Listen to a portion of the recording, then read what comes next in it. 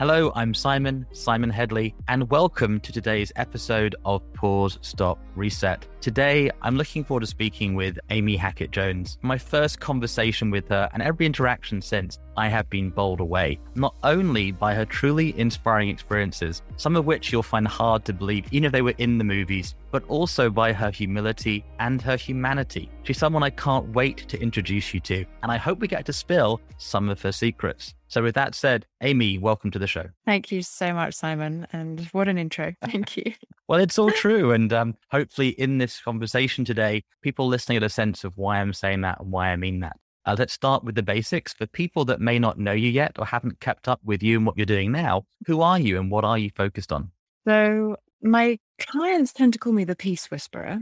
And that is a nickname I got when I was working in Panama. And the Latinos are very bubbly and full of life and absolutely love them, but they don't very often know how to be very quiet. And so, quite often, I would sit and listen to them, uh, often only asking one or two questions in an entire hour of coaching them. And so, I became known as the Peace Whisperer because I was able to get them to a place of peace with a, literally a couple of questions. And that became one of my most powerful tools was helping people to create a sense of inner peace within them, given all of the hurly burly of life and everything that it throws at us. So, yeah, that was my nickname. And what am I working on? I'm currently working on a couple of things. One is my coaching business, which I actually don't advertise. People come to me and through recommendations mostly. And that's just the way I like it because it has a more peaceful ring to it. See what I mean? Um, and the other thing I'm working on is an ed tech platform in which I am the chief operating officer, which sounds very officious. And we're building a platform to help people develop their character. And so,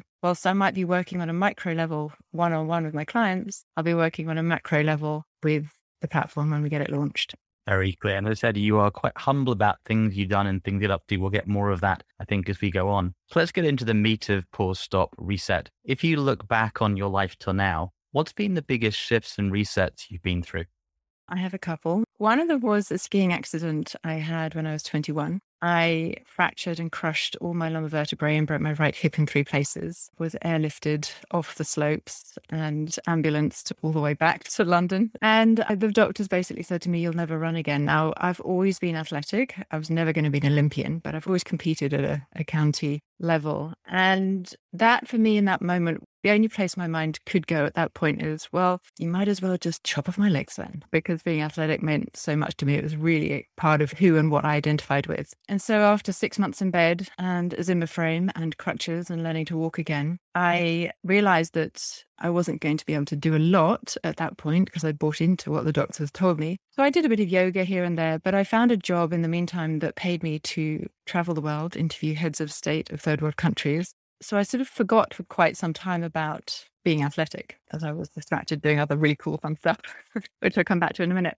And I was sent to South Africa in 2006, and I was there for about six months. And one morning I had to get from Johannesburg to Cape Town, a flight away or otherwise an 18 and a half hour drive. And unfortunately, there were no flights left. And I had to get to the World Economic Forum the next day to interview the president, Thabo Mbeki at the time. And because there were no flights, I ended up having to drive overnight. Lots of coffees and Red Bulls later, I did arrive in Cape Town very early in the morning and decided that I wanted to go for a walk the sun was rising. So I went for a walk around the block and then another block and then another block. And I thought, oh, I might just try jogging, given I hadn't actually run in seven years now. So I jogged around the block and then another block. And then I ended up jogging, running from Cape Town to Cape Point, which is 40 something miles. And it was just the most incredible experience because as I was running, it was it was my Forrest Gump moment and the sun was rising over the Atlantic Ocean. And it was just one of those moments when I wasn't sort of even present in my body. I just felt the force of the spirit, nature, whatever you want to call it, come over me. And I just kept going. And when I got to Cape Point, that's an incredible place. It's where the Atlantic and Indian Oceans meet. And the energy there was just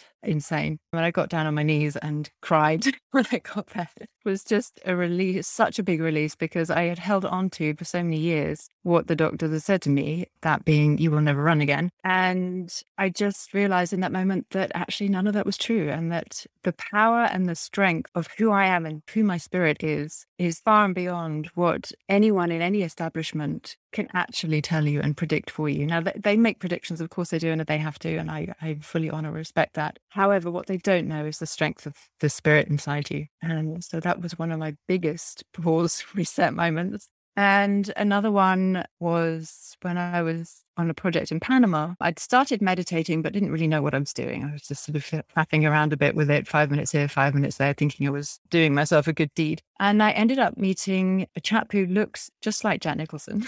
Hilarious. But he's actually an urban shaman and he had studied with Native American Indians for about 30 years on and off over the years. And he spotted me. I was at the British ambassador's Christmas ball in Panama, as one does. And he came across to me and said that he'd like to have a chat. And I sort of thought, you know, I'm, I'm quite open. I talk to anyone and everyone. I've traveled so much, you know, I've heard so many stories. But this guy really caught my attention and we agreed to meet a few days later and he told me his story. And I said, Well, I'd love to introduce you to the president because I'd actually met I'd met the president by that point and interviewed him for the project I was working on. And I said, Well, if you sign a contract with him, coaching contract, I'll take 10%. Thank you very much. and so they met they signed a contract. I took 10%. And then we ended up setting up a business together. And that was a huge pivotal moment in my life as well, because I knew that there was a calling, that there was something deeper for me at the time. I knew that there was a path that I wasn't yet on, but somehow the universe was aligning me, calling me to meditate and calling me to, to Panama to meet this guy eh, you know, seemingly sporadically, but actually, I'm sure it was highly intentioned by the universe.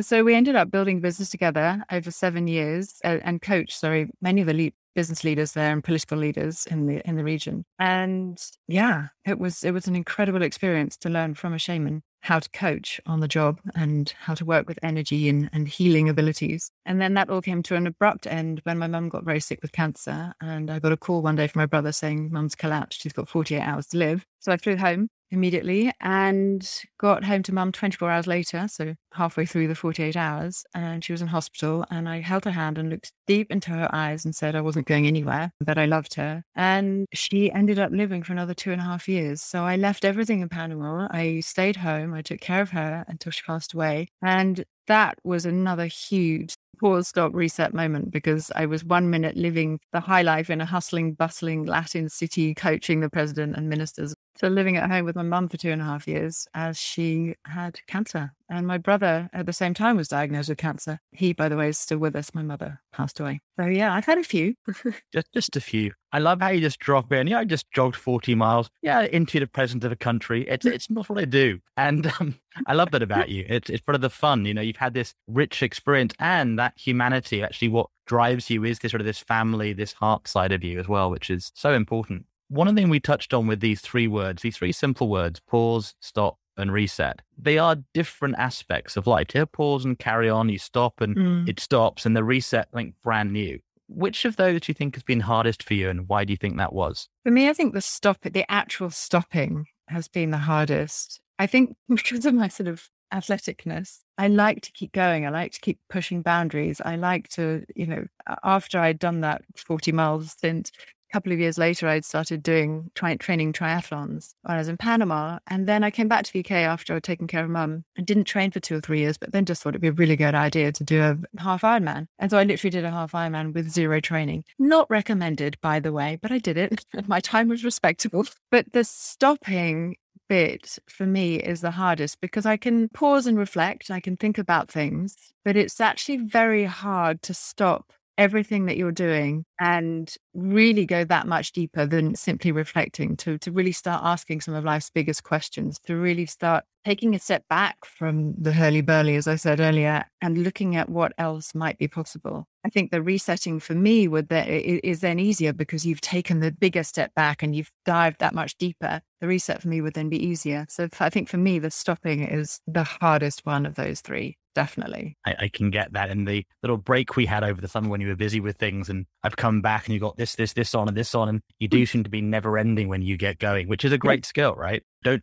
recommend the burning yourself out doing triathlons on day one. And it is a challenge, especially with the physical artists, with the Olympians, elite sports people, and military people. They do tend to keep going until the body breaks, the spirit doesn't. And um, yeah. it can be hard. If, if we look at sort of going back at your younger self, you know, is there a lesson or two you wish you could send your younger self? Yeah, there's a couple for sure. I think I was so, I lacked such confidence when I was younger in myself that eh, it was always crippling at times. I wouldn't put myself forward for things. I wouldn't put my hand up in class to say things. I wouldn't stretch myself. I'd always stretch myself physically for some reason that was that was different in my head, I guess. But constant feeling that other people were better than me and that other people knew more than me and that other people could do more than me that had more authority than I did to to speak up and say things. And so for a big part of me was of, of my journeys not just being the physical one but also finding my voice which sounds kind of funny because I'm speaking now. I obviously have a voice. But I remember my shamanic teacher, Hawk, when I met him in Panama, he always used to say to me, find your voice, find your voice, find your voice, find your voice, find your voice. And I literally didn't know what he meant. I was like, but I've got a voice. But it wasn't a voice that I used powerfully. I would sort of cower in the corner if ever I was put on the spot about anything or asked a question and told to speak up. And since I started learning with him, and he like the constant reminder it's almost like the universe has just kept providing me with lessons to learn in that arena and spaces in which to practice. And by that i mean i ended up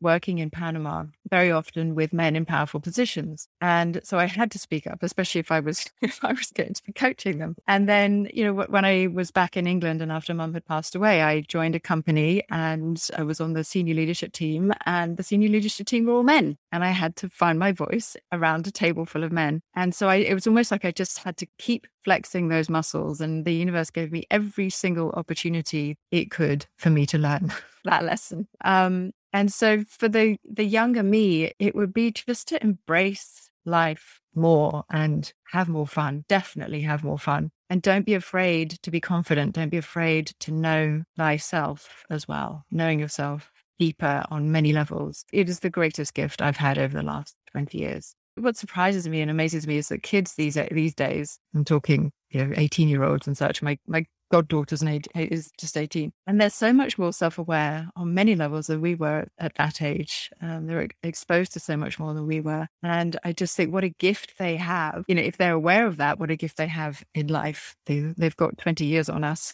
So, yeah, know thyself, confidence, and just have more fun. I like the having more fun one. The uh, being competent and finding a voice is something I can resonate with. I many a course on that, and it's it's still the day the sort of tall poppy syndrome we have in the yes. UK. Yeah, yeah, and um, especially when you get around like presidents of countries, like they're, they're the important ones, right? Well, yes, they are. They. I was just going to add to that. They are, and I remember thinking after my second or third project in one of these countries, just thinking to myself, you know what? They're all just humans like I am. They all go to bed and have families and eat and sleep and all the rest of it. It's just the, you know, the, the name on the door that's different. And that's how I used to comfort myself and calm myself down. The other thing I wanted to say on this subject about talking to my younger self is something I learned recently from a friend of mine who I will talk about a little bit later. We've all learned about setting intentions, but she took it one step further. She she said to me a lot, set the intention and set it clearly, know exactly what you find out exactly what it is you want. Set the intention and then take your hands off the wheel like hand it over to the universe, set the intention and hand it over. Because the more we meddle in the how, the more we step in the way rather than allow things to happen. So yeah, take your hands off the wheel. Set the intention, take your hands off the wheel. No, I really love those. They they resonate and they are hard to do at times, but um, yes, they are important lessons in life, I think. And it, it, brings us to our next sort of question, really. Yeah. Are sure. there any books or movies that you've read or you get drawn to that have given you inspiration, have helped you learn to do these things, learn to pause, stop, and reset?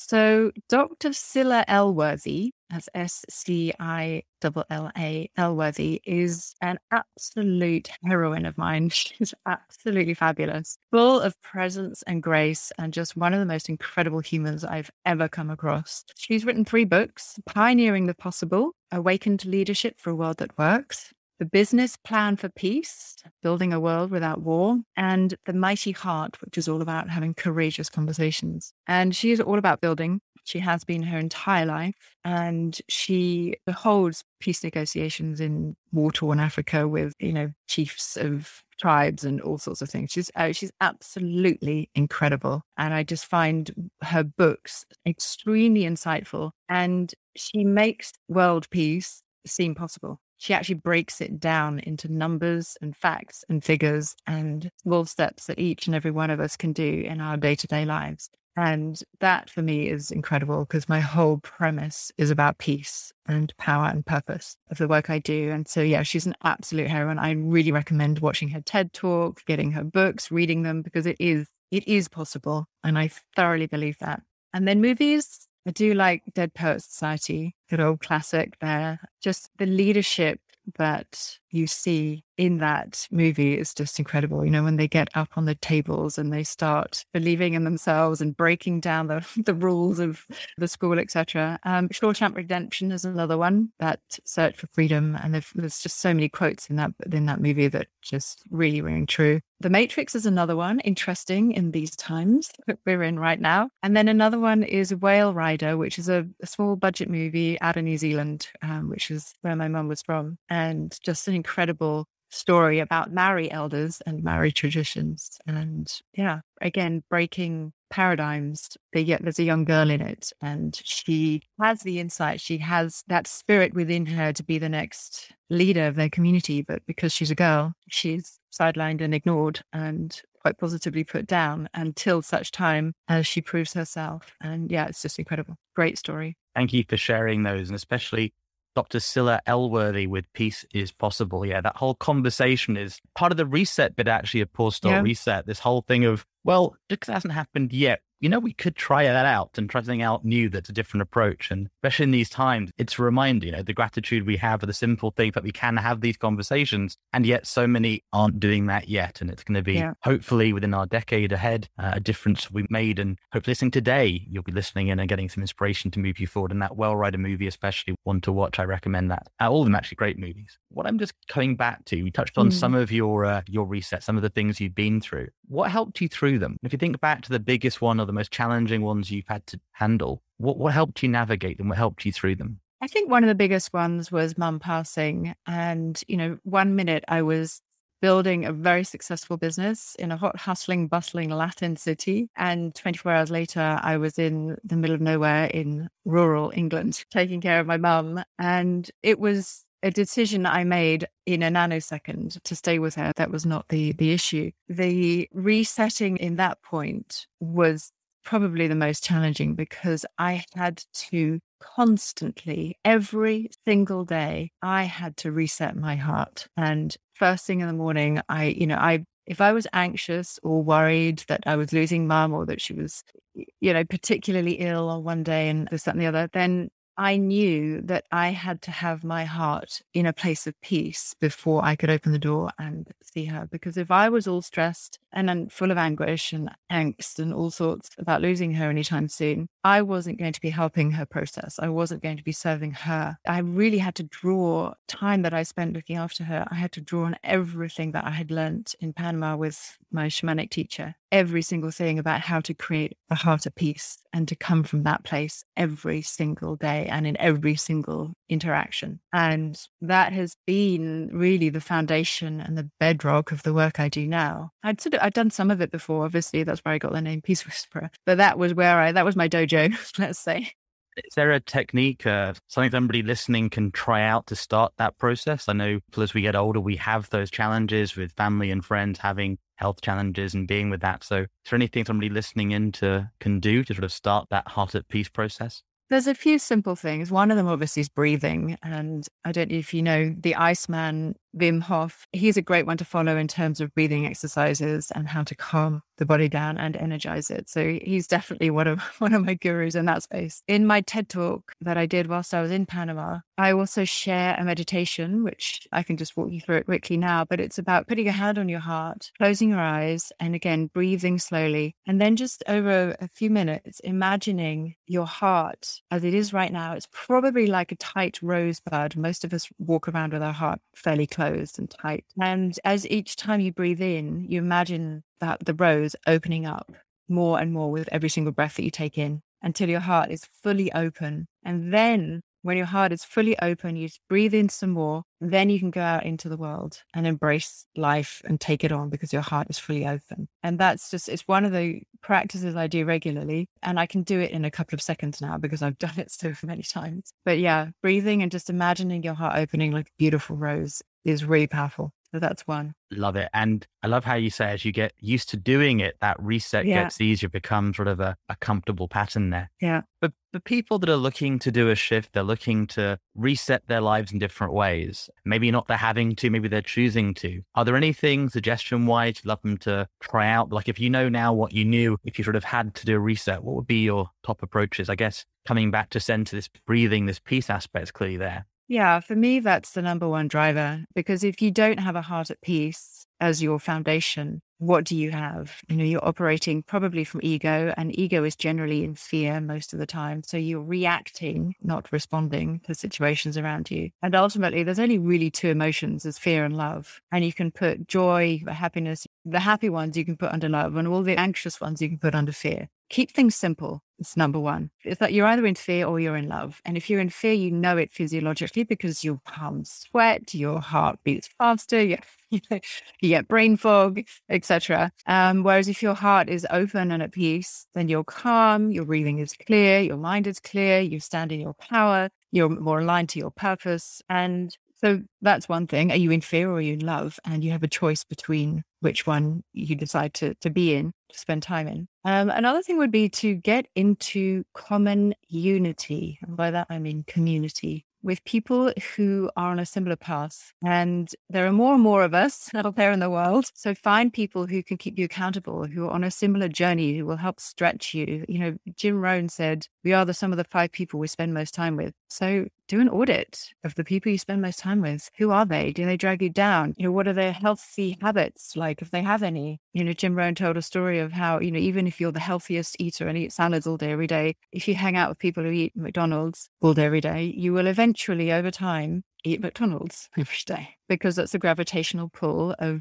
social beings, which we are. So, who are the five people you spend most time with? And if you haven't got people around you that pull you up, that inspire you, that motivate you, then go find some. Um, another thing would be to find a mentor in some way, shape, or form, whether that's a coach, whether it's a mentor at work, you know, whoever it is, find a mentor, someone who will challenge you. And another point is we're all living our own hero's journey. If you think about you know, Neo in the Matrix, or you think about Han Solo, and you think about all these stories that we love and we keep going back to over and over and over again. It's because we love the hero's journey. So be the hero of your own journey and then think about what does that look like? What do you want your story to be? How do you want it to look? What are the steps you need to take next? All of the, the hero's journey stories that we go to the movies to watch, you know, they all have a mentor in some way, shape, or form. So go find yourself a mentor, get into a community of people who uplift you, would be two of the things I would suggest. I love this, Amy, and love you bringing up Jim, Mr. Jim Rohn. Yeah. Um, it's it is interesting these dots how they connect and uh, we're going to have to wrap up in just a few of today's episode of pause stop reset. I want to make sure people want to get hold of you connect with you can do that. What's the best way they reach out? The best way they can reach out is at amy hackett jones across all social media but i'm usually on instagram or facebook more than anywhere else. Or my website amy hackett jones that's a-m-y-h-a-c-k-e-t-t-j-o-n-e-s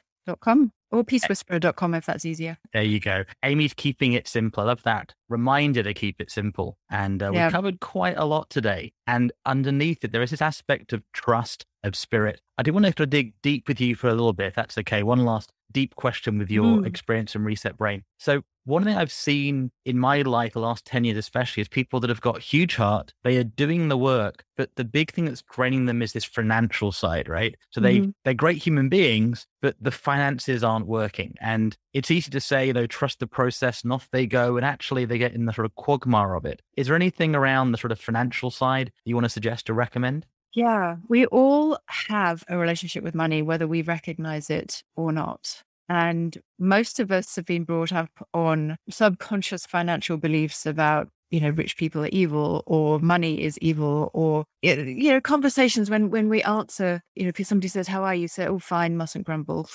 Things like that, which is very British of us. And I just think if you had a relationship where you do have a relationship with money. So again, had take an audit of your relationship with money. What beliefs do you have around money? Most people, for some reason, believe that money's bad or that they shouldn't have enough of it. Or if they're spiritual, then they should be giving their abilities, their their services away for free because it's bad to be, you know, you can't be spiritual and have money. And money is just money. Money is doesn't, you know, it, nothing has any meaning apart from the meaning we give it. Money is just money. It's just energy. And so if you think about it, the more you charge for your services, obviously, if you're good at what you do, the more you are able to actually deliver and the more people actually respect you. Now, I've been there as well. I've charged little to nothing for my services and I've given a lot of it away for free. And what I know to be true, and my Shamanic teacher told me this years ago, and I've proved it to myself over and over and over again, is that what people get for free, they don't value. And so there's a fine line between your upper blueprint of money, you know, you, where, where you feel comfortable charging and where you're giving yourself away for too little. And then what ends up happening is you start resenting it. You start resenting the clients you do have, and you start overworking and becoming energetically withdrawn. And so ultimately, you're not actually delivering your best self to your best service to your best client. So I'm a big one for really diving deep into your money story. I really, really believe that. And actually, one of the best people on the planet I know for that is a friend of mine called Polly Alexandre. And that's Alexandre R E, not E R at the end. PollyAlexandre.com. She that's that's what she teaches is money mindset. And she's one of the best people I know out there. So go check her out. Awesome. Well, maybe you can introduce her and get her on a future episode we are going to have to wrap up for today. I mean, thank you so much for being part of this, for being part of today's Pause Stop Reset episode. As ever, I appreciate you sharing who you are, your energy with us. And what I found most valuable is a reminder about keeping it simple, how things are either fear or love, and how sometimes other people's thoughts about the limits that you have may not be true. And you've definitely blown this out the water time and time again. And so if you've enjoyed being with us today, this episode of Pause Stop Reset, so you can get maximum value, head to Apple Podcasts, make sure to subscribe and give us five stars. Make a comment on what you heard from Amy you can take some action on. And I recommend you check out those suggestions. That's Amy Hackett Jones, and I will see you next time.